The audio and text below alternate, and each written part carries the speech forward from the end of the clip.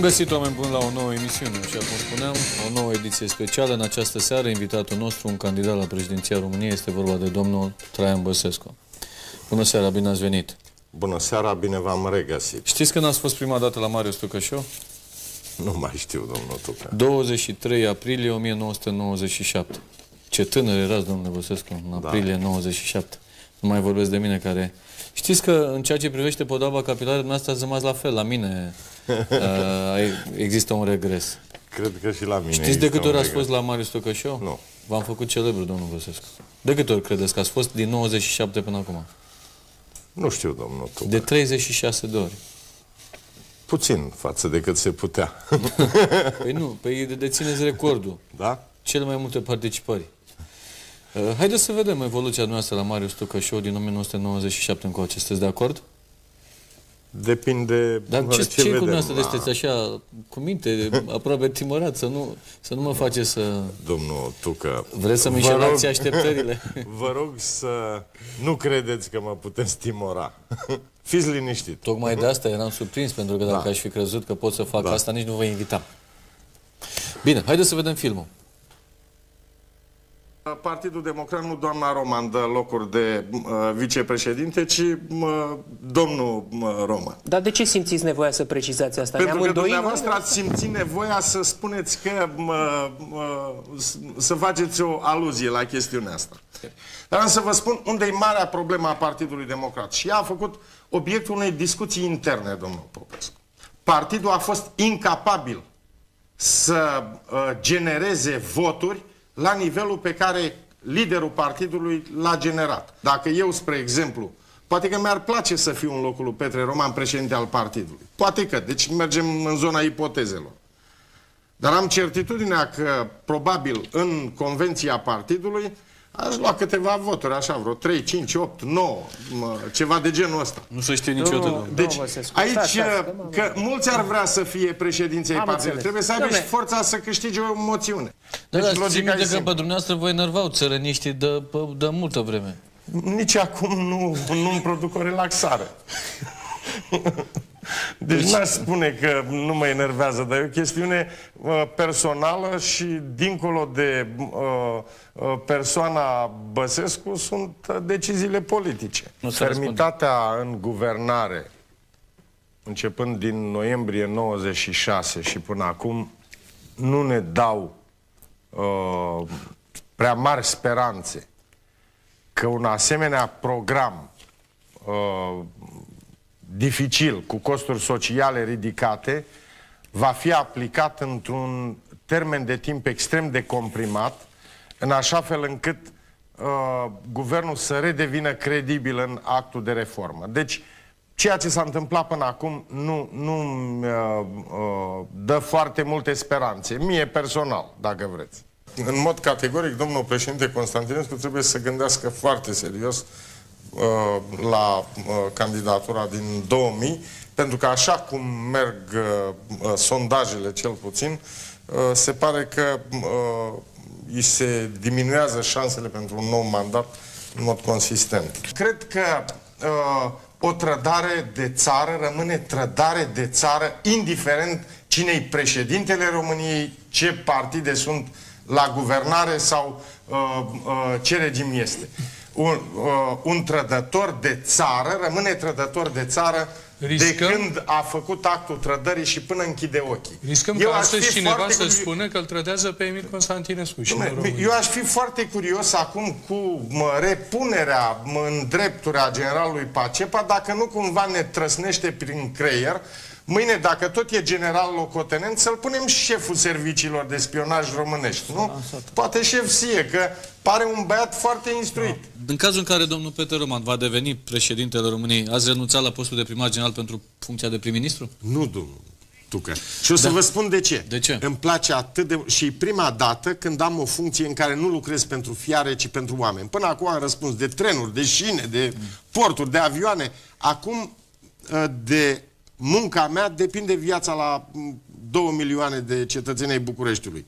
Sigur, nu o să le rezolv toate din prima clipă, dar și- am sentimentul că prima dată în viața mea lucrez pentru E oameni. adevărat că în 2004 veți candida la președinția României? Eu mi-am propus să candidez în 2008. În 2004 mi-aș dori să fiu ales din primul tur primar general al capitalei. Dumneavoastră spuneți că au beneficiat de sponsorizări partide care s-au aflat la putere, în opoziție. Și la putere, și în opoziție, și în stânga, și în dreapta și vă mai pot spune un lucru pe care poliția, parchetul știu. Sunt oameni politici plătiți de Sorin Ovidiu Vântu să-i asigure protecție și influență inclusiv în Parlament.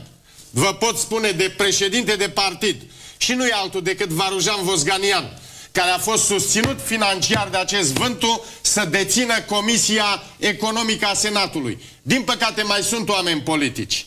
Mai sunt oameni politici care se pare că se îndreaptă și spre în alte candidaturi. Domnul Băsescu. În primul rând aș constata că la Antena 1 ni se dau scaunele După procente. după Aici. procente. Văd că am numit... Am vrut să spun de la început acest lucru, dar am crezut că o să vă jignească. Da, nu, nu, am constatat, am luat notă. Păi 5 cu 7% domnul Băsescu. Nu, da, e primarul Uitați-vă la general al domnul... capitalei, domnule, Îmi cer care e scuze, al v-am doilea invitat ca în număr de calitate de voturi după vicepreședinte președinte. PD. Vă, vă rog. O să umflăm după pauza Aș în seara uh, scaun. mă, fi mai sintetic decât uh, domnul uh, Adrian Năstase. Aș spune că este un vot pentru care uh, la Moscova se jubilează și la Bruxelles a produs îngrijorare. Votul reflectă un vot dat pe stomacul gol. Asta e marea realitate a votului de astăzi. Eu nu bocesc, domnule. Eu sunt bucuros că s-au produs alegeri libere, că n-au fost fraudate. Corect, este un Am câștig. luat notă de sancțiunea electoratului și reconstruim. Mi-ar fi greu, vă mărturisesc, să spun votați-l pe domnul Iliescu. Dar măcar să îndemnăm să meargă la vot. Om vedea ce or vota. Însă participarea la vot mi se pare esențială. România cu Vadim Tudor președinte este țară izolată. În mod cert se va crea o nouă garnitură de oameni politici la Partidul Democrat. Eu nu m-am bătut cu Petre Roman. Domnului Petre Am Roman fost i-ați în dat, vreo, sar... competiție i-ați cu dat vreo dânsul. sarcină în uh, Partidul Democrat, Nu, domnului Petre Roman? domnul președinte Roman nu are nicio Îi spuneți în funcție. continuare președinte, nu? Da, Chiar un, dacă nu mai e. un președinte ca și un ministru, Petre Roman este fondatorul Partidului Democrat, deci merită să rămână cu acest apelativ. Da, în intervenții- Partidul Democrat e o schimbare de E generație. o schimbare și sunt Sigur oameni că da. tineri. O Aminteați schimbare câteva de nume? generație, oameni foarte tineri, uh, oameni însă nu lipsiți de experiență politică, au avut deja un mandat de Dar parlamentar. care nu au fost în linia întâi Nu a au fost în partidului. linia întâi, ori să crească, sper eu, în așa fel încât Partidul Democrat să dobândească o echipă de oameni politici viabili, credibili. Da. Dar o echipă foarte tânără.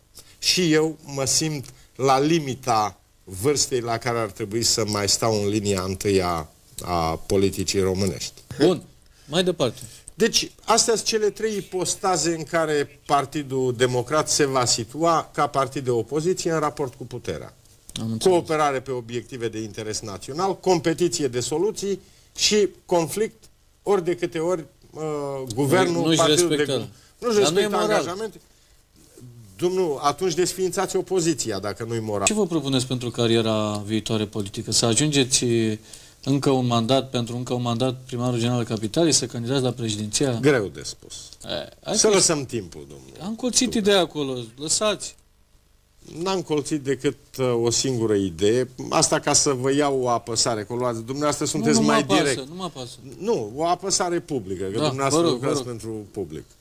Uh, Dacă aveți vreo apăsare sau vreo, vreun semn de întrebare cu privire la eventuala mea candidatură în 2004, la ce voi candida, vă pot spune în conformitate cu statutul partidului, candidează la președinția României cel care este cel mai bine plasat în sondaje înainte de desemnare. Eu, deși uh, sunt un adversar al președintelui României, un adversar politic, îi spun domnul președinte Iliescu pentru că e mai în vârstă decât mine. Dacă era mai tânăr, îi spuneam Iliescu. Dacă v-ați propus să mă moralizați, Numai o clipă. Deci aflați nu. că greșiți. Deci, domnul Gușă, știu Demnitățile- că, știu demnitățile că nu mai într-un puteți stat- fi moralizat la uh, vârsta asta. Nu, eu cred că, Dați-mi este, voie doar cred că să sunteți prea apăr... nervos. Dați-mi Și asta vă voie împiedică doar să- să... apăr punctul de vedere al Partidului rog. Democrat. Deci nu avem nicio legătură cu domnul Măgureanu. A fost o fuziune între două partide. S-a realizat Între domnul partidul Măgureanu, domnului Măgureanu și partidul nostru. între partidul care se numea Alianța Națională, eu nu știu vreun proprietar de partide, și vă pot spune că după fuziune au fost între mine și domnul Măgureanu trei discuții. Și îl rog pe domnul Măgureanu să mă scuze că le dezvălui conținutul. De fapt, cea de-a treia a fost și cea care a separat definitiv apele între noi.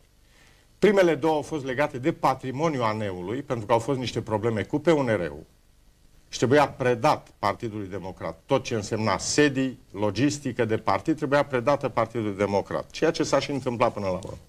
Cea de-a treia a fost o analiză a domnului Măgureanu, în care singura soluție era să colaborăm cu dumneavoastră, lucru pe care l-am refuzat. Înțelegeți? PD-ul este o alternativă la bolșevism, ca să o mă, așezăm așa cum e. De fapt, uh, eu nu acuz electoratul PSD când uh, fac asemenea afirmații, sau nu despre electoratul PSD vorbesc, electorat care mă, e la fel de sărac ca și electoratul mă, PD-ului sau a oricărui alt partid, ca orice român. Eu acuz modul cum este condus PSD-ul, dar uitați-vă la grupul de conducere al PSD-ului la nivel central, uitați-vă la grupurile de conducere ale PSD-ului la nivel local, acei teribili baroni locali, ei reprezintă victoria comunismului asupra capitalismului. Eu personal am mai văzut lideri români decorați și ați văzut și dumneavoastră și după ce au fost împușcați nu mai știau marile democrații cum să le ceară decorațiile înapoi. Am văzut și lideri comuniști plimbați cu trăsura regală la Londra, deci nu vă grăbiți să puneți etichete după ce spun cei de afară. Uitați-vă la cei din țară. Nimănui nu-i place când îi pleacă oameni, dar pleacă acei oameni care au simțit că au fost senatori de drept 12 ani, iar acest partid nu mai suportă senatorii de drept. Este un partid care și-a mâncat propriul fondator prin vot, a învățat că își poate schimba liderii. N-am avut senzația vreodată că aș fi copil de suflet al domnului Iliescu. Păi, aveți un candidat la președinție în afară de Peter Roman? Avem, avem candidați, se găsesc mulți candidați cu potențial să câștige. Sunt mai puțini, dar candidați găsești pe toate drumurile.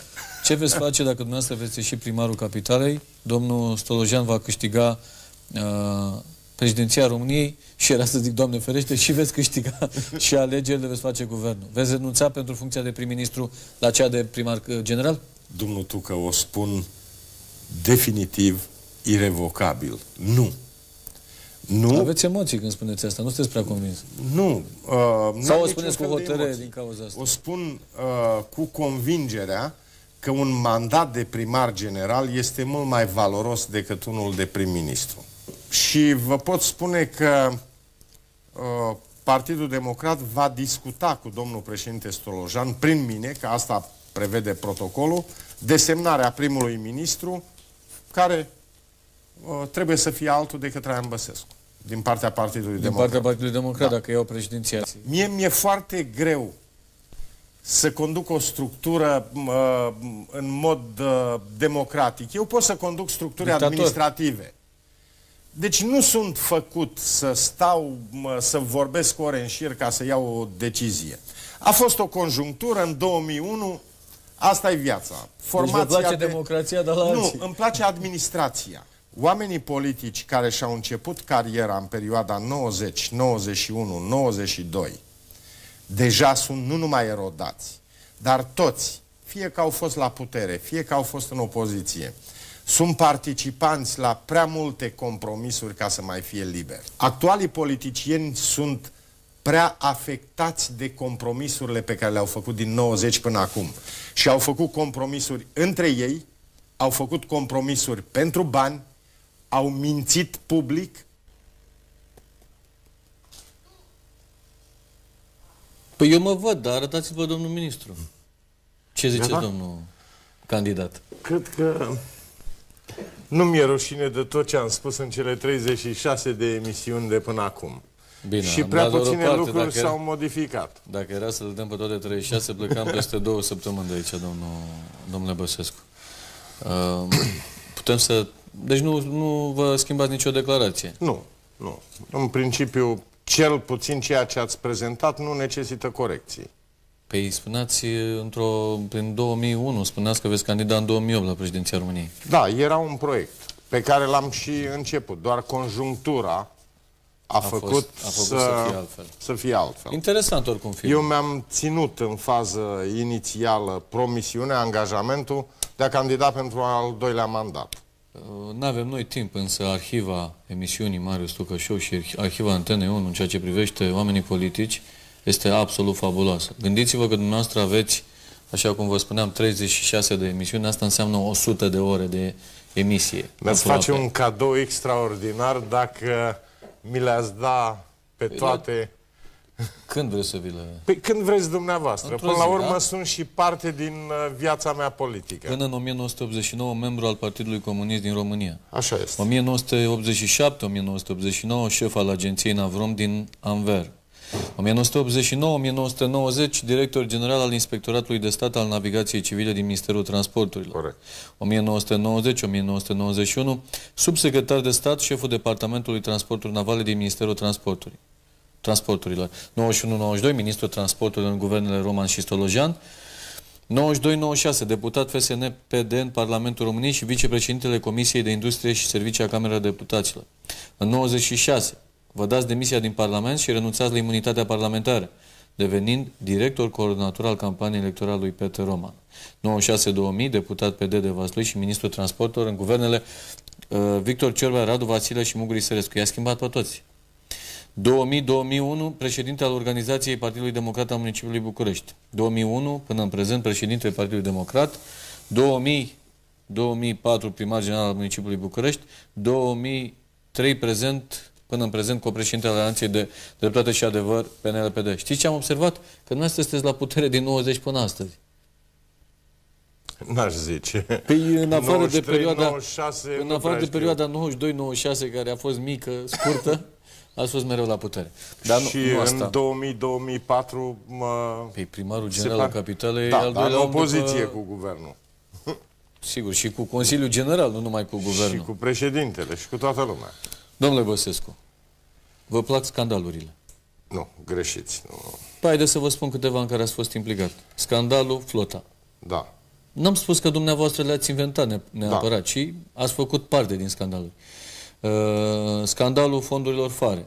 Ați fost acuzat. Nu, nu, opriți-vă. Nu mi-aduc aminte de asemenea. Valerian Stan a afirmat într-o scrisoare dată publicității că Traian Băsescu și-a nu însușit... există ați așa avut și- ceva. Nu, Nu, nu există. Nu are nimic comun cu realitatea. Deci îl tai. Da. Am înțeles. Anulați-l. Scandalul apartamentul 1997.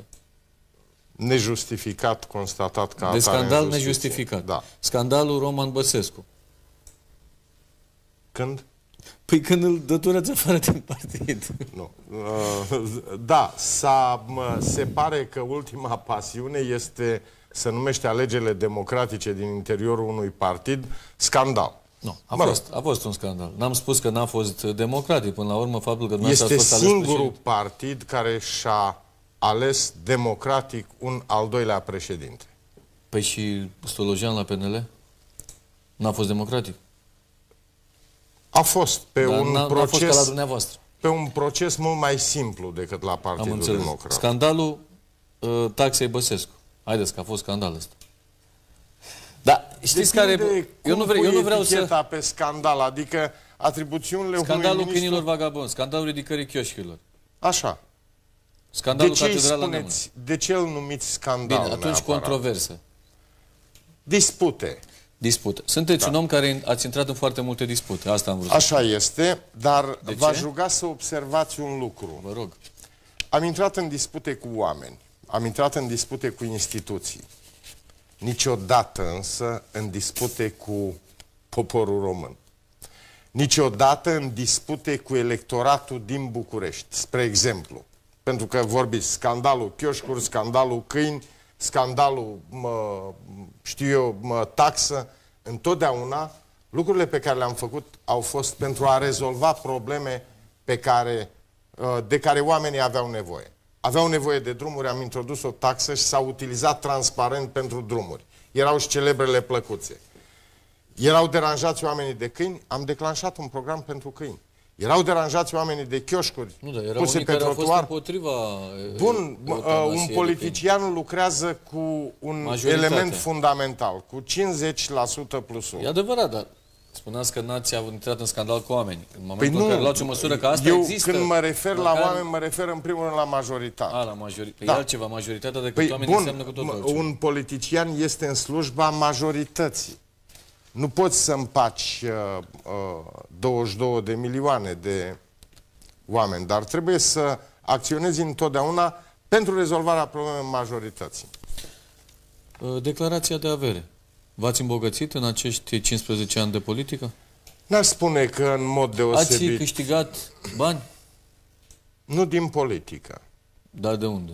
Am micile mele afaceri din care trăiesc și care sunt declarate. Aveți un teren intravilan obținut în 2002? Am avut, l-am vândut în L-ați 2000 vândut. și l-am vândut în 2002. Am înțeles. Un teren intravilan obținut în 2002 cu o suprafață de 46 de metri pătrați.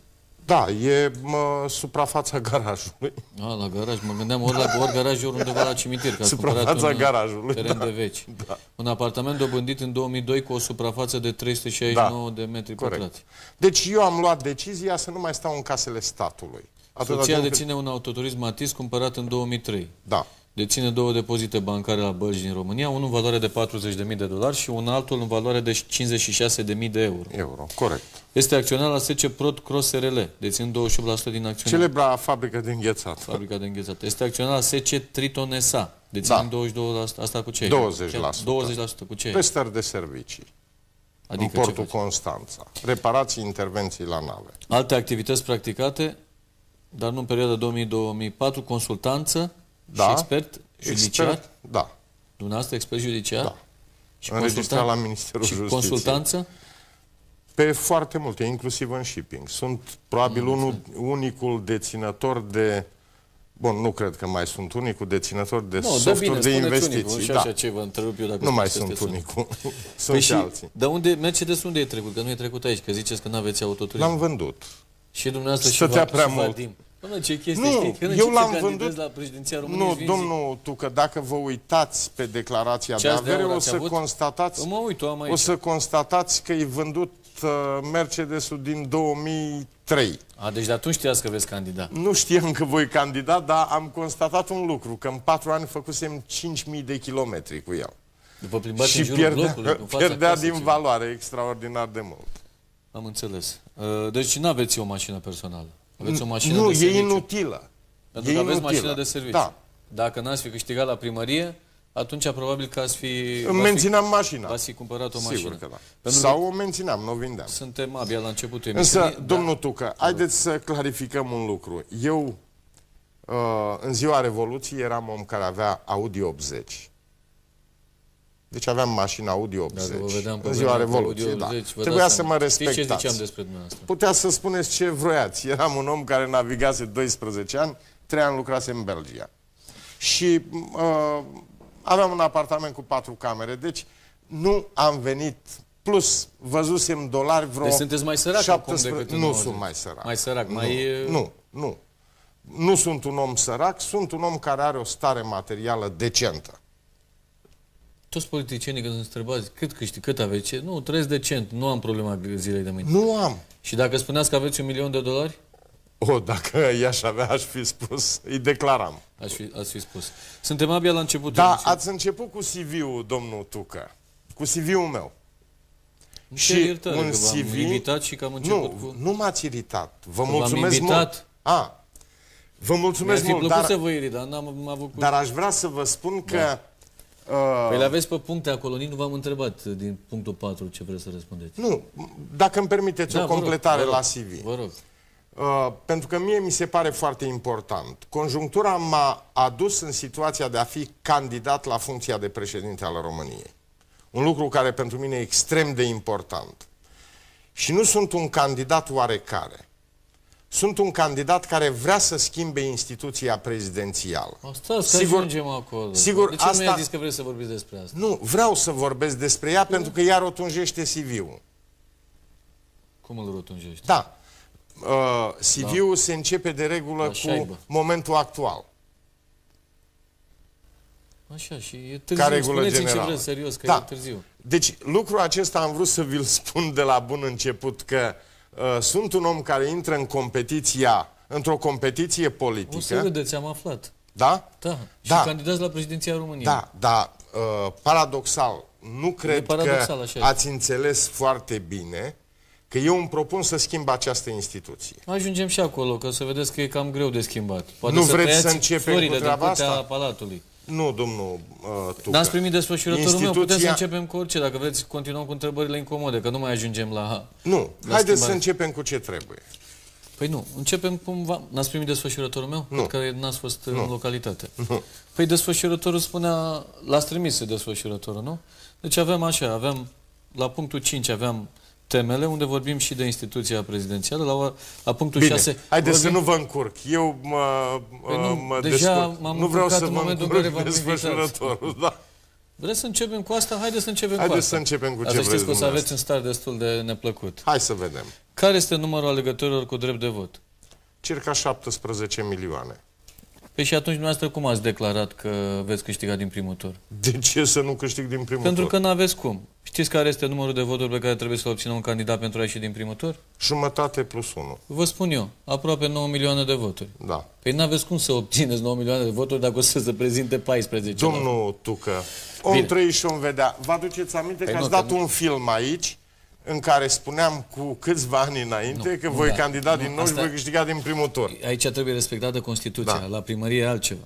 Deci numărul celor care... care numărul... N-au, n-au trecut alegerile. De ce nu mă lăsați în calitate de candidat să-mi fixez un nu- obiectiv? Păi, să vă spun de ce.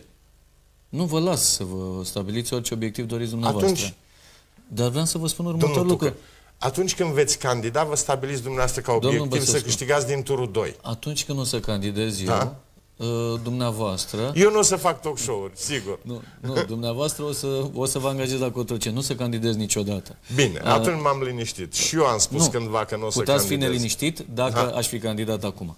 Uh, nu vă spun acest lucru de ce? Pentru că pentru ca dumneavoastră să câștigați din primul tur, înseamnă ca la vot să vină uh, 16 milioane de alegători, ceea ce nu se va întâmpla.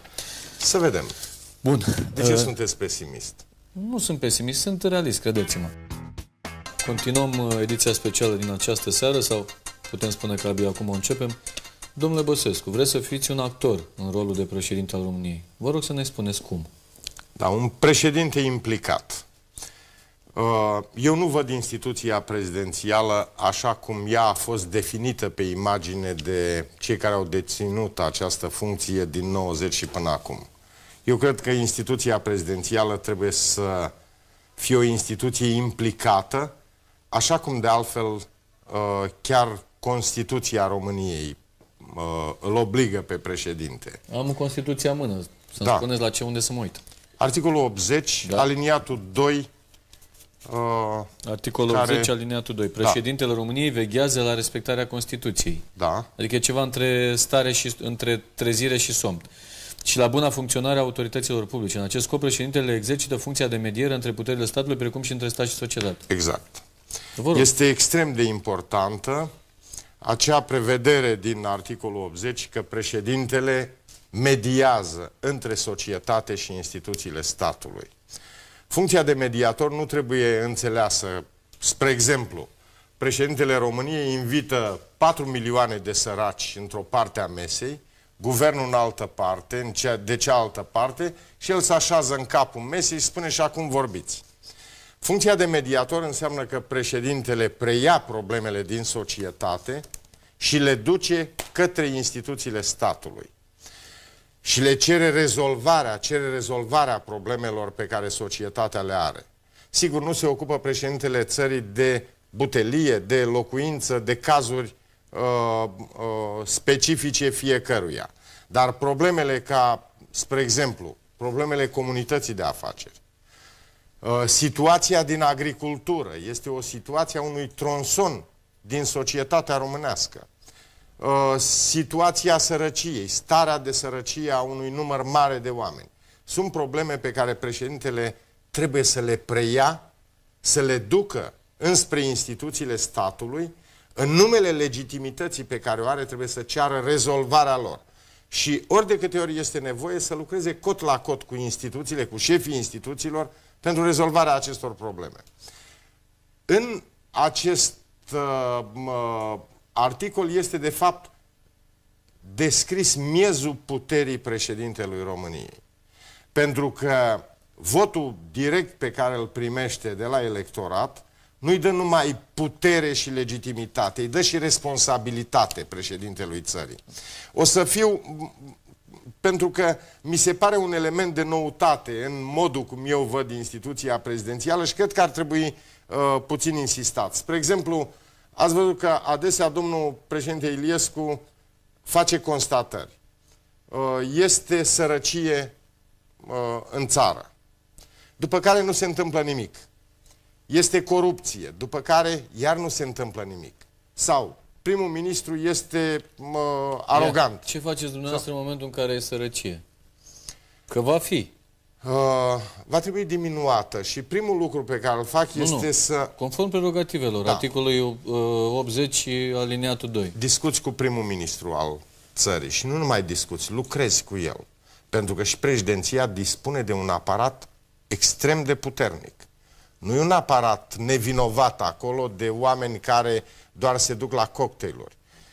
Echipa de la Palatul Victoria, cu echipa de la Cotroceni, trebuie să rezolve, să găsească soluții, în primul rând soluții care se îndreaptă către crearea posibilității de a câștiga bani. Pe guvernul nu cu asta se ocupă? Dacă am ajuns la nivelul de 4 milioane de săraci, înseamnă că nu s-a ocupat bine, domnul Tucă. Și știm toți că în societatea românească s-a produs o polarizare formidabilă în ultimii Ce ani este? între oameni foarte bogați și oameni foarte săraci. Domnule președinte, nu cred în alineatul 2 din articolul 80. Eu cred, domnul Eu Tucă. nu cred. Păi puteți să nu credeți. Și să vă spun și de ce. Vă rog. Pentru că în momentul în care dumneavoastră veți avea, de exemplu, veți da. ajunge președinte și veți avea un guvern PSD, cum credeți dumneavoastră că veți lucra cod la cod cu un guvern PSD? Nici nu vă lasă să intrați în guvern dacă Bun, este... ați luat premiza negativă, premiza în care... Ce înseamnă premiza uh, negativă? Da, că... premiza în care ar fi vorba de o coabitare. Bun. Haideți să vorbim atunci, să spunem că este guvern PNL...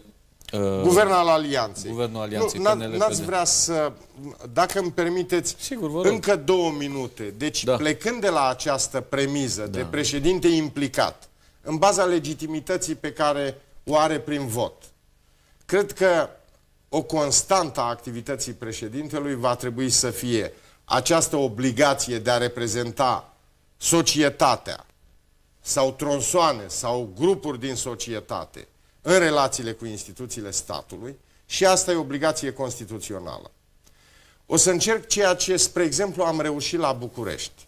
Dar de data asta, uh, vorbind la nivel național, o să încerc să coagulez națiunea în jurul unor obiective importante de interes național, cum este, spre exemplu, integrarea în Uniunea Europeană. Guvernul a lăsat impresia că integrarea e o problemă a guvernului. Ori integrarea este o problemă a națiunii române și fiecare cetățean al României plătește factura integrării și va fi beneficiar al integrării. Deci aici trebuie un efort al națiunii române în procesul de integrare. Sau un alt, o altă constantă a activității de președinte va fi independența justiției. O altă constantă va fi bătălia... Stai, nu, nu spuneți atât de multe, că vreau să vă pun și eu niște întrebări legate de... Vi le enunț. Și A, vreți să le spuneți pe tot? Încă da. două mai am nu, nu, uh, lucruri pe care mi le-am propus a fi uh, constante ale activității președintelui Traian Băsescu. Un adversar neîmpăcat al corupției voi fi, fără menajamente.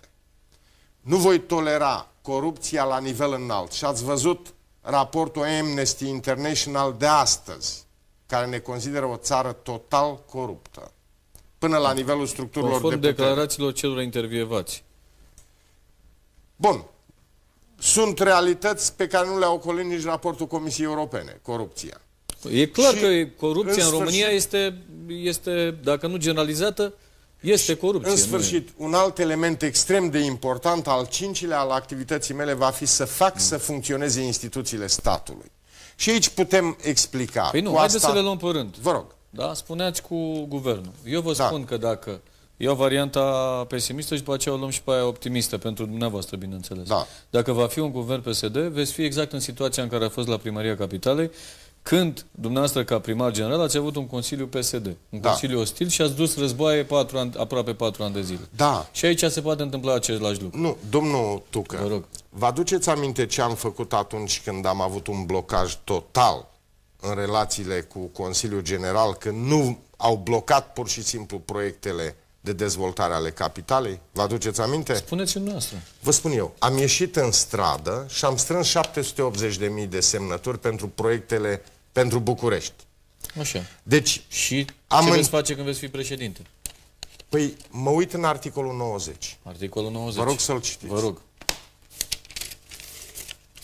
Da. Cel cu referendumul, nu? Da. Articolul 90. Deci dacă voi constata, dacă vom fi în situația de imposibilitatea unei coab- coabitări decente, mă voi întoarce acolo de unde vine puterea președintelui. Consultarea... Președintele României, după consultarea Parlamentului, poate cere poporului să-și exprime prin referendum voința cu privire la probleme de interes național. Dom'le, ne-am obișnuit cu ușurință sau ne este jenă să rostim cuvântul popor. Bun, Nu, explicați mecanismul. Deci Mecanism- organizați referendum Organizez- pe problema sărăciei, de exemplu, da? Da, spre exemplu, trebuie să ai soluții să o combați. Și, Bun, spuneți, uh, am nevoie de ce? de uh, redistribuirea resurselor în buget, Faceți- redistribuirea organizați priorității. referendum, da? da? da. Să spunem că acest referendum va fi în favoarea dumneavoastră. Da. El e greu de organizat, dar mă rog. Și spuneți, și ce veți face după ce a fost, uh, a fost referendumul? Guvernul este obligat să se supună uh, deciziei uh, unui referendum, pentru că acolo o să ai... Care este decizia o, în problema sărăciei? Ai să ai un proiect prin care, spre exemplu, A, se deci- schimbă prioritățile în buget, se alocă resurse ori pentru creare de locuri de muncă, ori și acest pentru lucru cei va care... fi prezu- prevăzut în referendum sau În se, referendum, se spune iar- iar- în principiu după care dumneavoastră Nu, nu. veniți cu proiectele se face, care să, știți cum să va modifice fi? exact, bugetul? Exact cum prin referendum s-a modificat uh, Constituția României, domnul. Domnule Băsescu, Vă rog. știți câte referendum puteți organiza? organiza? Cinci în cei cinci ani. Da, Unul dar e singur pe an. suficient. Unul singur pe an. Și credeți că e necesar să organizezi mai Nu vă multe? spuneam. Haideți să luăm și varianta optimistă, pentru că așa Da. e corect. Veți avea un guvern PNL-PD. Nu, dar domnul Tucă, aș vrea să clarificăm un lucru în care eu cred foarte mult și Da. Vă rog. vă pot spune că funcția de primar m-a făcut să înțeleg foarte bine ce înseamnă forța electoratului, care trebuie respectat și la el trebuie să te întorci. Am convingerea că utilizând de mecanismele democratice, acum ni se pare că e greoi, dar este miezul democrației, consultarea electoratului atunci când situația o impune. Și eu o voi face ca președinte. Vom fi înainte de integrarea în Uniunea Europeană. Da. Sunt foarte multe voci care spun că programul este ca și făcut. Că nu, sunt, nu se pot face foarte multe, că este un uh, guvernul care va veni, indiferent că va fi PSD sau al Alianței, Da. nu are prea multe de făcut. Nu, are de făcut Adică are de lucruri făcut ce îi spune Uniunea extrem Europeană. de importante. Nu, nu, nu, nu are prea multe de făcut în afară de ce îi spune Nu e Uniunea adevărat, Europeană. domnul Tucă. Are de pus în practică ceea ce a negociat actualul guvern. Absolut. Da? Deci nu ce îi spune Uniunea Europeană, că aici a fost o negociere. Unde mai bună, unde mai Ce a proastă, negociat dar pe este capitole. esențial Este adevărat, da. ca România, Nu, corect, așa indiferent care este guvernul, să-și respecte angajamentele în raport cu Comisia Și credeți Europeană. că mai trebuie să interveniți dumneavoastră dacă Sigur nu-și că respectă... da. Păi nu mai intrăm în Uniunea Europeană, domnule Nu, nu, nu președinte. de intervenții pe program. Dar, domnul Tucă, eu Da. cred că aici facem o mare confuzie. Vă rog. Uh, viața economică și socială a României uh, este acoperită într-un tronson relativ îngust de procesul de integrare. România nu este doar proces de integrare. România are viața ei de stat național cu o populație de 22 de milioane. În uh, uh, Și negocierile cu... populația se integrează, că nu se Domnul- integrează doar România. Așa este. Dar uh, problematica legată de uh, intrarea în Uniunea Europeană este doar o mică parte din ce înseamnă viața economică și socială din România. E mult mai largă. Ori aceste lucruri Deci nu apelați țin- la referendum, apelați referendum la pentru că mediere, stă- în cazul în care la mediere nu faceți nimic. Medierea înseamnă următorul lucru, să traducem ce înseamnă mediere. Înseamnă că președintele a sesizat problema unei părți din societate și nu cheamă partea aia din societate să discute cu guvernul. O preia el, că asta e obligația constituțională, Am înțeles. se duce la guvern sau la instituțiile Cred că a statului fost- să o rezolve. Cred că a fost foarte clar. Dacă Da. vreți să mai reveniți asupra subiectului, nu, Nu, e nicio am vrut problemă. să fie clar. Păi, în cazul în care Alianța câștigă alegerile, cum veți face? Ați auzit și astăzi uh, declarația domnului Călim Popescu Contează ce am auzit Tăricianu, eu. care, dec- care a fost desemnat a fi prim-ministru și va fi prim-ministru al Guvernului Alianței. Înțeles? Uh, Colaborarea cu instituția prezidențială va fi una din prioritățile Cum guvernului. veți col- colabora? Ce înseamnă cum vom colabora? Păi Păi prioritățile explicați României... oamenilor că a spus că colaborarea Deci, e prioritate. ce înseamnă a- colaborarea Spre exemplu, avem un Vă program. plimbați amândoi cu mașina? Ce Nu înseamnă? ne plimbăm.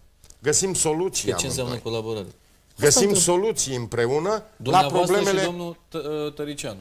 împreună cu guvernul, că Tăricianu vreau reprezintă să vă un întreb. guvern, cu departamentele guvernului. Spre exemplu, o prioritate fundamentală care va trebui lucrată cu multă atenție între cele două instituții, guvern și președinție.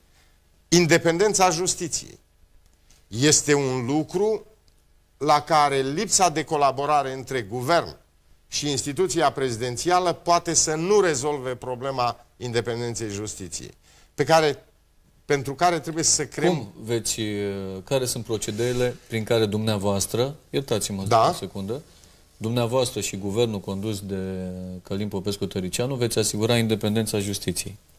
Uh, șansa este că avem o viziune comună în momentul de față. Cu un guvern atât al mai mult. alianței, uh, Cu atât uh, mai mult. lucrurile se derulează mult mai ușor. Cum? Spre exemplu, uh, influența politicului în justiție este dată de subordonarea justiției către Ministerul Justiției.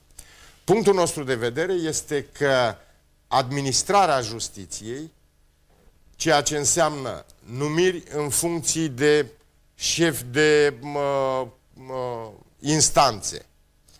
Și resursa financiară pentru funcționarea justiției nu trebuie să se mai afle la Ministerul Justiției, ci trebuie duse la Consiliul Superior al Magistraturii, instituție care Banii este... n-au cum să vină de la Consiliul Suprem. Nu, nu. Superior În al buget, Magistraturii. din bugetul de stat, banii se dau direct Consiliului Superior A, al să se dea Magistraturii din buget direct, și nu Ministerul Justi Ministerului Justiției. Deci de dumneavoastră asemenea, vedeți- atributul Ministrului Justiției de a-și da aviz pe numirea șefilor de instanțe trebuie să dispară.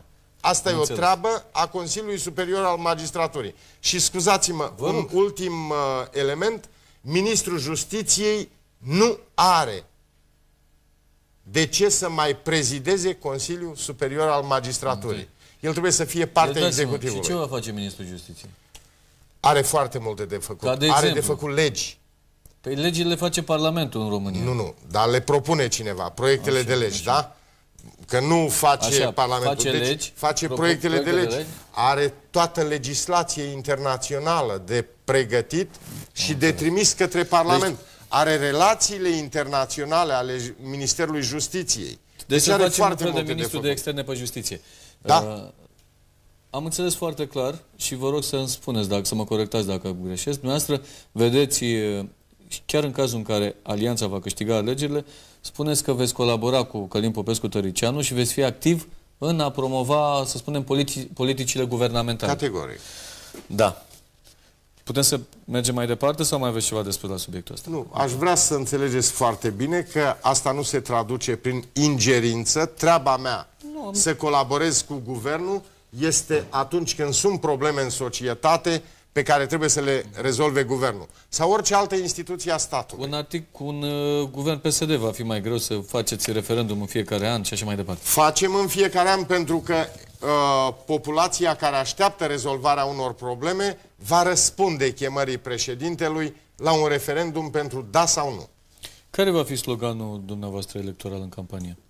Greu de spus. Nu da, aveți. puteți să considerați că mă, face parte din uh, uh, sloganurile de campanie câștig din primul tur. Da, dar este fals. Bun, mă, Pentru nu că toate trebuie să vă voteze sloganurile 9 milioane de oameni. sunt perfecte. Reduceți la mă, circa uh, 8 milioane. 1 milioane 400 de mii. Da. Spuneți-mi, uh, sunteți adeptul unei campanii negative? În principiu nu. Și uh, cred că am demonstrat în alegerile locale că nu sunt adeptul unei campanii negative. Sunt adeptul unei campanii de construcție, dar în niciun caz nu voi avea comportamentul unui miel. Da. Acum să vă vadă pe cineva pe dumneavoastră în poziția de miel, cred că e Da. destul de greu. Uh, spuneți-mi, cine face parte din campania noastră? Uh, Din staful de stafful campanie... dumneavoastră, cine Deci Vasile conduce- Blaga este șeful echipei de campanie. L-am avut șef de campanie în cele două campanii câștigătoare de la București. Îl mențin și la campania prezidențială. Este uh, Ionuț Popescu de la PNL în echipă Mona Muscă. Uh, Spuneți-mi, sunteți adeptul impozitării cu 90% a veniturilor mari și foarte mari? nu, Dar cu cât la sută? Nu. Uh, impozitele, dacă ați urmărit programul nostru, vizăm o reducere majoră a sistemului de impozite. Impozitul pe profit va fi redus de la 25 la 16% și impozitul pe venit de la 25 la 16%. Dacă În nu vă primul an. lasă organismele internaționale. Nu avem aici de negociat cu organismele internaționale. Lucru care trebuie făcut pentru organismele internaționale este să probăm că este corectă soluția noastră. Și Spuneți-mi. dacă vreți, dacă vreți, putem face proba acum. Deci, iată, din uh, impozitul pe uh, Păi nu, că nu mă profit. pricep, nu, nu mă nu, pricep. nu, nu vă dau formule Da, matematice, vă rog. vă dau niște lucruri Nu, elementare. la formule mă pricep, nu... Da. Uh, din impozitul pe uh, profit. El este 25%. Media de plată a impozitului pe profit în economia României este de numai 14,5%. Deci, o coborâre a impozitului la 16% nu face decât să vină într-o realitate, pentru că degeaba ne scrie în lege 25 Dar tot dacă în logica noi colectăm dumneavoastră doar elementare poate să 14,5. coboare încasările la 9%. Nu, o E, să vă nu. spun de Păi nu, domnul Tucă. Bine. Dați-mi voie să vă aduc argumentul de ce. Vă rog. Pentru că, în general, afirmațiile nu sunt suficiente, trebuie și probe. Deci noi introducem, așa cum afirmăm în program, evaziunea fiscală în criminalitatea economică. Și economia are crime. Iar evaziunea fiscală în toate țările civilizate, că discutăm de Statele Unite, că discutăm de Germania, că discutăm de Franța, este criminalitate economică, se pedepsește cu pușcărie. V-aș aduce aminte că e un caz notoriu, tentativa uh, familiei mă, lui Ștefi Graf de a nu plăti uh, taxele către fiscul german. Și tatălui Ștefi Graf a făcut pușcărie. E Și notoriu Boris cazul. Becker a fost la un moment dat Da, în situația. domnul Tucă, ce e esențial? Da. să reduci fiscalitatea și în același timp să renunți la legislația actuală care spune dacă nu îmi plătești obligațiile la stat, îți dau penalizări. Și pe urmă vine un ministru de finanțe care ți le șterge. Ți le anulează. Spuneți-mi, în ceea ce privește cota unică de impozitare, sunteți de acord cu ea? Categoric da și o susținem. La ce, la ce La procent? 16%. 16%. Întrebări legate de atribuțiile președintelui conform Constituției. Vă interesează? Vă, de, Da, vă pot... uh, sigur că da. Spuneți-mi, vă rog, când poate președintele dizolva Parlamentul? Uh, De ce faceți? Vă uitați mi-e în greu. Constituție? Da, o citim, domnul, domnul Tucă. Uh, că nu sunt obligat să o învăț pe din Dar afară. nici eu nu sunt obligat să vă las să citiți. Bun, uh, Da. atunci Spune, mi-e haideți, greu să... haideți, vă rog. Deci să vedem dizolvarea Parlamentului. Dar nu vă da? interesează dizolvarea Parlamentului dacă o să fie un Parlament din Nu, PSD? pentru că nu plec de la premiza că trebuie dizolvat Parlamentul. Păi dacă- Parlamentul este... Dacă în uh, consultarea pe care o faceți în legătură cu referendumul, Parlamentul o să spună nu. Nu, păi Parlamentul nu poate să spună nu, că primul mecanism este că te adresezi ca președinte Parlamentului. Și dacă Parlamentul nu rezolvă problema, te duci în referendum. Am deci nu văd uh, un inconvenient. Deci când poate Putem... președintele dizolva Parlamentul? Puteți să-mi spuneți articolul ca să-l citim uh, cu ușurință. tu nu vreți să vă spun ce anul nașterii? Nu, uh, cred că Deci articolul, astea... articolul da. 89. 89. Dăm la 89 și vedem când poate fi dizolvat Parlamentul.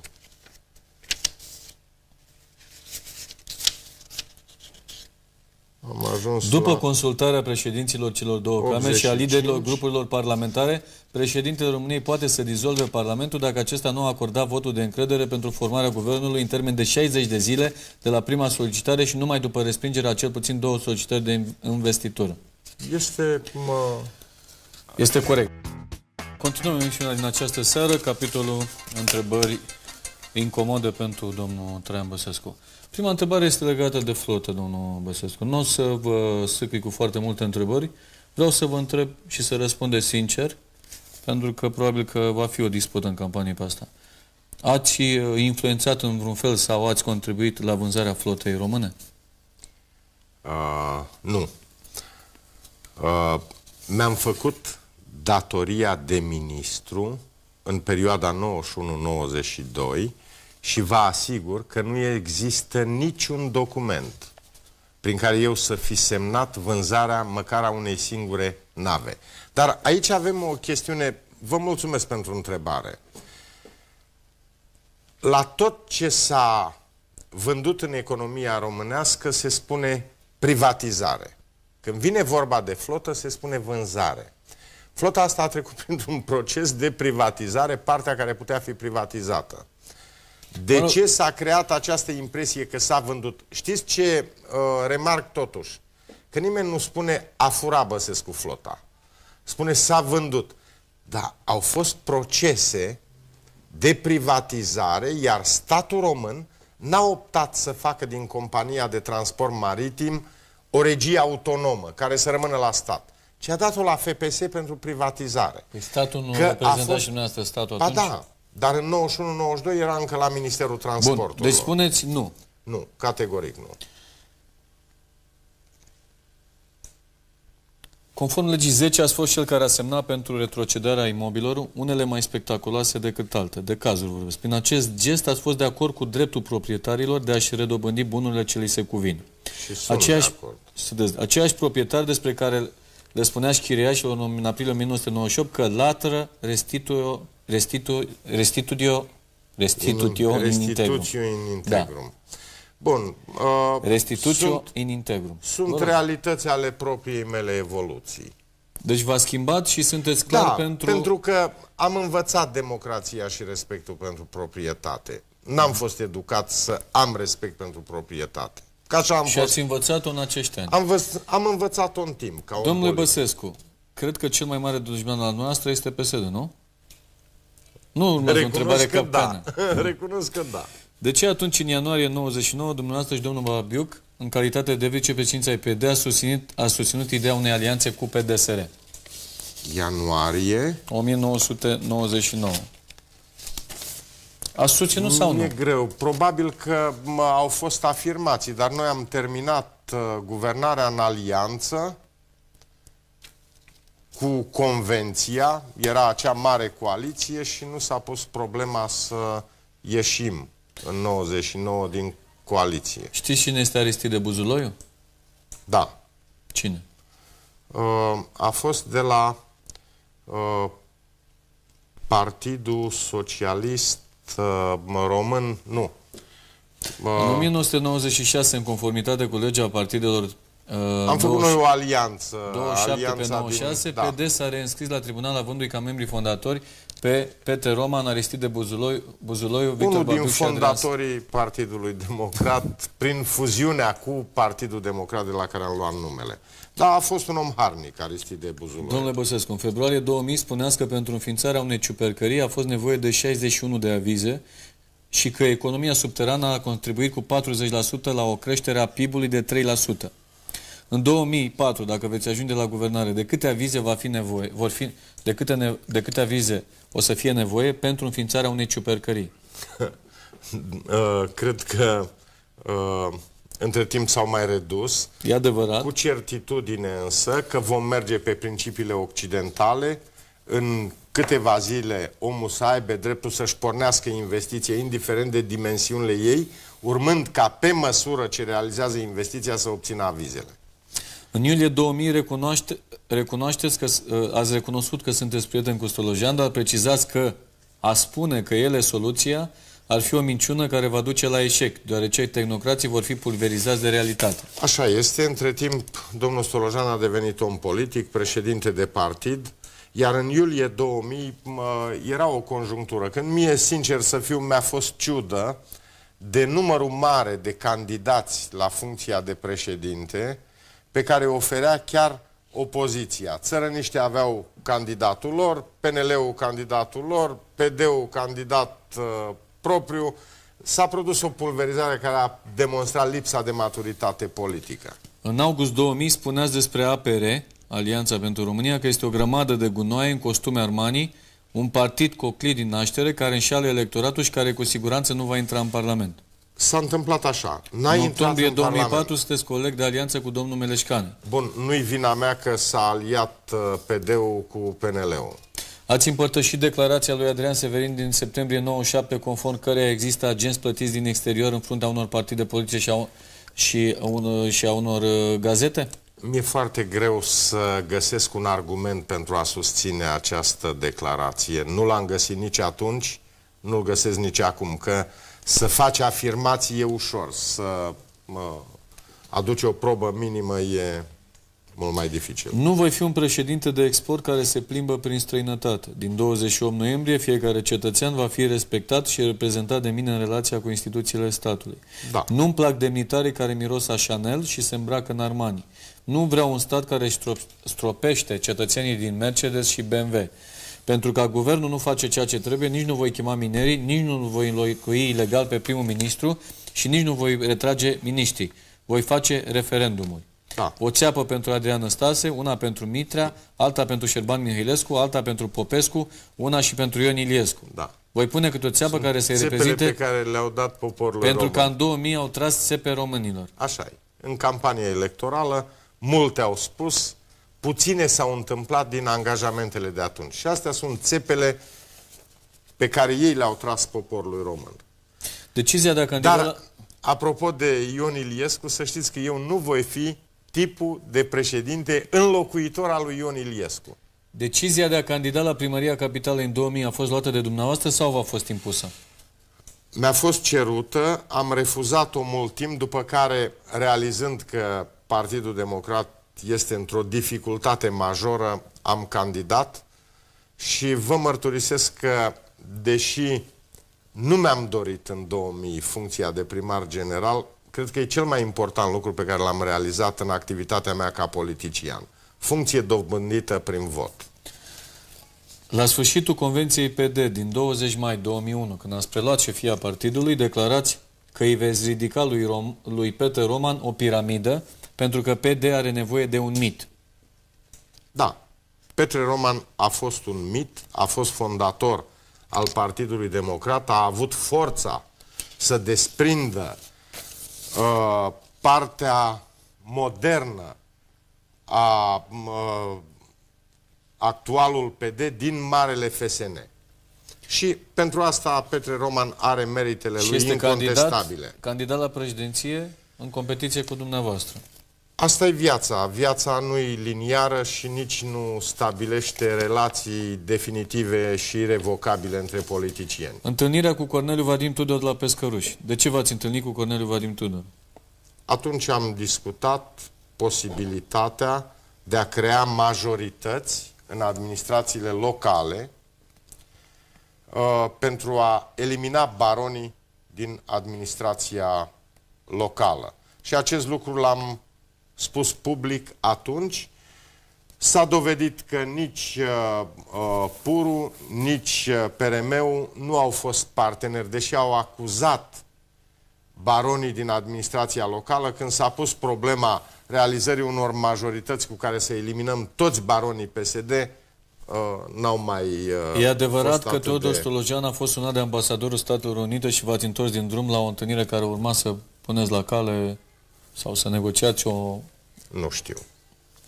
Nu, Aseară a spus Nu-mi uh, este- președintele PRM a spus acest nu lucru. mi este cunoscut acest episod, niciodată nu m-am întors din drum și uh, vă rog să mă credeți că nu există relații de uh, amiciție cu niciun ambasador. Sunt bune relații oficiale. Ați declarat că până în decembrie 1989, Corneliu Vadim Tudor se ocupa cu trafic de casete pornografice pe care le aducea din deplasările cu echipa Steaua în străinătate. De unde știți? Erau bărfe prin lumea sportului în care stăteam destul de mult. Uh, ca ministru al transporturilor mă ocupam de rapid foarte mult. Însă uh, s-a demonstrat că lumea asta a sportului e destul de pestriță. Vă mai mențineți declarația conform căreia trebuie arestați cei care au acordat uh, scutiri de datorii la stat în guvernarea 96-2000? În toate guvernările, da. Înainte de, o, de 1989 ați fost ofițer acoperit al Direcției de Contraspionaje... nu. Păi dar nu... nu. Deci nu vreți să... Categoric nu. Bun. Atunci puteți jura că n-ați fost colaborator la Direcția a patra Securității? Și puteți jura că n-ați semnat un angajament cu ofițerul de contrainformații? Uh, da, niciodată nu am făcut poliție politică. N-ați răspuns la întrebare. Nu, dar eu vă răspund pentru că e complicat ce mă întrebați. Eu vă spun categoric un singur lucru. Nu am făcut poliție politică. Spuneți-mi, ce rol mai are domnul Virgil Măgureanu în partid? Niciun rol. Conduceți într-un mod lăutăresc partidul. Așa va reproșa Liviu Negoiță. Au fost incidente și eu i-am spus lui Slavă Domnului destule și el mie și... Domnul Cosmin Gușe spunea în trecut că tandemul Stolojan Băsescu este unul foarte slab și neomogen. Și a mai schimbat părerea domnul Gușe? Nu știu, dar știu că lucrează foarte bine pentru alianță în momentul de față. Cui veți preda șefia Partidului Democrat? Uh, noi nu avem o formă de predare, nu se moștenește funcția de președinte al partidului, dar cred că Emil Boc este unul dintre uh, politicienii din Partidul Democrat care au șanse să devină președinți ai acestui partid. Într-un interviu pe care mi l-ați acordat acum un an, v-am întrebat dacă ați auzit de Mircea Cărtărescu. Mi-ați răspuns că nu. Nu știți cine este. Nici A... acum nu știu cine este. Mircea Cărtărescu, nu știu cine este. Ar putea să fie o gravă lacună în... Uh, dacă veți câștiga alegerile prezidențiale, iar guvernul va fi alcătuit din membri ai PSD plus PUR, cum veți lucra cu uh, Adrian Stase ca premier, de exemplu? Cu Constituția și cu legea în mână. Deci exact ce discutam mai devreme. Da. Domnule Băsescu, dacă veți ajunge președinte României și veți efectua o vizită în Franța și vă veți întâlni cu premierul francez Raffarin, cum îi veți explica acestuia declarația dumneavoastră conform căreia premierul francez a venit în România să-și ia tainul? Da. Delegația franceză n-a fost la adresa premierului. În primul rând, aș vrea să luăm din DEX definiția tainului. E porție de mâncare sau ce? Nu, nu. Astea să... Uh, vă rog traducere păi nu, ce să spuneți Deci textul dă trei variante da. și eu vă spun exact ce am vrut să spun și ce... A ieșit. Fiecare ia... Deci tain după dex este parte care îi revine cuiva în urma unei repartizări a unei împărțeli, etc. Și voi spune același lucru. Același lucru.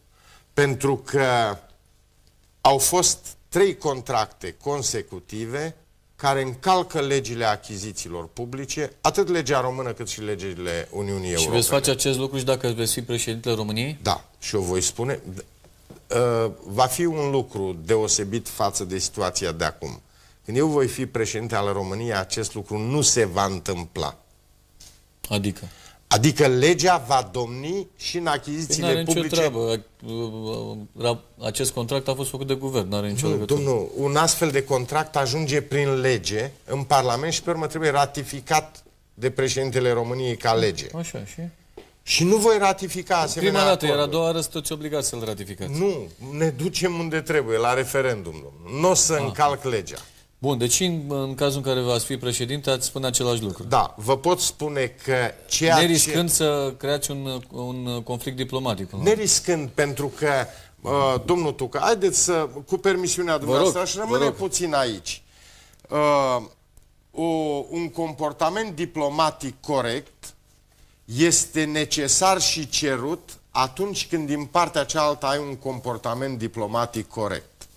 În momentul în care, indiferent ce personalitate politică a lumii, în țara ta, participă sau sub auspiciile lui se încalcă legile internaționale de achiziții publice, spre exemplu, nu poate aștepta să uh, te faci că nu vezi. Deci, respectul ți-l dobândești prin comportament chiar și în relațiile internaționale. Și eu respect statul francez, respect pe premierul Franței, dar de data aceasta, în delegația lui au fost oameni care au încălcat legea. Nu e obligat premierul Rafael să cunoască foarte bine legile. Dar consilierii trebuiau să-l atenționeze că se semnează un contract care nu a parcurs procedurile de achiziții publice ale Uniunii Europene. Și uh, trebuie să fim foarte clari. Relația uh, politicienilor români cu politicienii străini trebuie să fie una care să stea în lege. Asta e, asta e punctul meu de vedere. Vă mai pot spune un lucru cu privire la achizițiile publice scandaloase din ultimul timp. Uh, contractul Bechtel, contractul de securizare a frontierelor. Și acest contract, punctul meu de vedere, este cunoscut și o spun public, deci cu toată responsabilitatea, la toate cancelariile din țările Uniunii Europene. Ați început procesul de umanizare, adevărat? De umanizare a cui? Vă afișați din ce în ce mai des cu soția dumneavoastră. La toate aparițiile oficiale, în ciuda obișnuințelor de până acum, când doamna Maria Băsescu a rămas mai mereu într-un cont de umbră al politicii. Da, Vorbiți nici n-a mai fost... des despre familie. Nici... Familist, familist, domnule Da. Băsescu, dar să știm și noi. Da. Uh, uh, să știți că uh, însă și această candidatură la funcția de președinte al României m-a pus în situația să încerc într-un fel sau altul, cu toată decența, să arăt că sunt un om care are o soție frumoasă, chiar dacă avem fiecare Dar asta dintre vă noi dezavantajează. 53 de ani, la un bărbat nu Mulți știu dacă e înainte. condiție esențială să fie foarte frumos. Uh, Cam o mă, familie temenică, că sunt uh, uh, capul unei familii uh, cu încă două fete reușite și cam 29 de ani de căsnicie. Spuneți-mi, sunteți anti-american? Nu, sunt un uh, pro-american convins. În legătură cu războiul din Irak, ce părere aveți? A fost necesară intervenția americanilor în Irak? Uh, războiul din Irak a fost un angajament al statului român care trebuia respectat. Adică participarea noastră Am la înțeles, coaliție. vorbeam de americani. Credeți că intervenția a fost una... Deci informațiile care au apărut după intervenție, nu s-au găsit armele de distrugere în masă, nu s-au putut confirma relațiile regimului Saddam cu uh, grupările teroriste. Uh, motivațiile intervenției au dispărut, din păcate, în timpul, în perioada de după înfrângerea lui Saddam și arestarea lui. Cu toate acestea însă, România s-a angajat la un parteneriat strategic cu Statele Unite și chiar dacă a dispărut motivația, România are obligația să-și respecte uh, angajamentele în relațiile cu uh, Statele Unite. Uh, mulțumesc. Aveți două, trei minute la final în care uh, trebuie să convingeți electoratul să vă voteze pe data de 28 noiembrie. Sunt acele minute sau uh, este vorba de acel discurs care poate să fie decisiv pentru ca dumneavoastră să fiți ales președintele României. Vă rog. Nu cred că acum se întâmplă uh, N-am spus că discursul se întâmplă decisiv. acum, am spus că ar putea fi Da. și să-l tratați ca atare. Vă mulțumesc mult, domnul Tucă, pentru șansa pe care mi-o dați de a mă adresa electoratului. Uh, Vă asigur că voi fi un uh, președinte care va respecta și va cere instituțiilor statului să respecte legile țării, că voi fi un președinte care, după ce dobândește puterea, va, își va asuma și responsabilitatea puterii pe care a dobândit-o, responsabilitate pe care își- mi-o asum în fața electoratului. Voi fi un președinte care va scoate instituția prezidențială a României din uh, modul de comportament de până acum. Voi fi un președinte implicat care va simți ca o apăsare votul pe care uh, electoratul l-a dat la 28 noiembrie. Vă asigur că România va deveni o țară în care speranțele noastre vor începe să se realizeze. Vă mulțumesc mult! Și eu vă mulțumesc, domnule Traian Băsescu.